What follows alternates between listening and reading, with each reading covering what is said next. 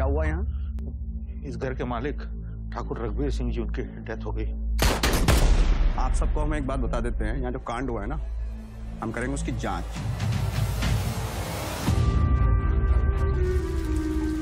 घर का कोई आदमी इन्वॉल्व है इसमें।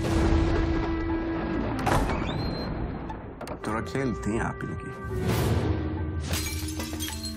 आप यहाँ नहीं थे कहीं बाहर थे? MG road. सेल लोकेशन तो कुछ और बता रही है।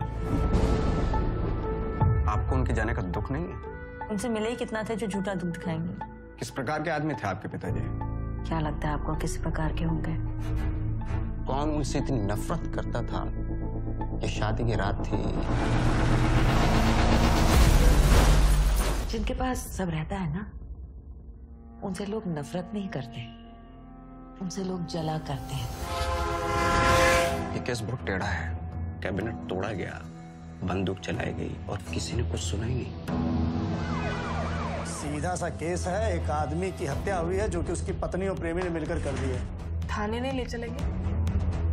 अभी मुन्ना भैया को फ़ोन लगा तो बहुत हो गया तेरा टंटा कल सुबह तक तुम्हारी वर्दी ना उतरवा दी ना तो देखना तुम। यहाँ अपनी औकात समझना बहुत ज़रूरी है। ज़्यादा दिन नहीं चलेगा यह सब। सच बोलोगी तभी हम कुछ कर पाएँगे।